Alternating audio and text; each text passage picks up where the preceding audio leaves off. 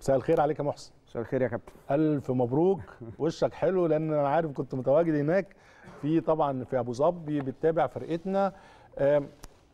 عايزك تنقل إحساسك وأنت موجود هناك في الاستاد تنقل إحساسك للجماهير. اللي ما كانش عندها فرصة إنها تروح إحساسك أثناء قبل المباراة قبل مباراة الهلال أثناء المباراة وما بعد المباراة.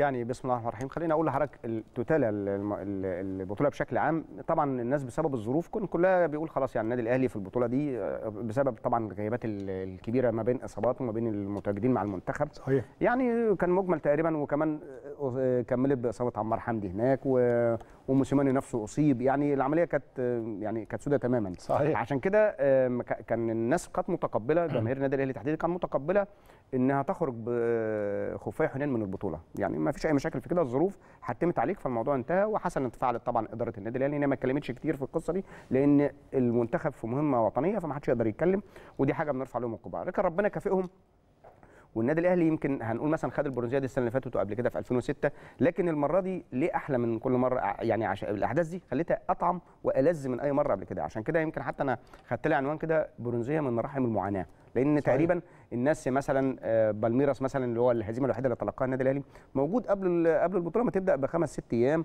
ومعسكرين ومجهزين والفرقه عاملة إعداد يعني مستعدة. بغض النظر بقى عن الأهلي كان حلو في الشوط الثاني ما كانش حلو بشكل عام يعني من جد وجد. فهو كان كان أكثر إعدادا لكن أنت ظروفك يعني حتمت عليك كده.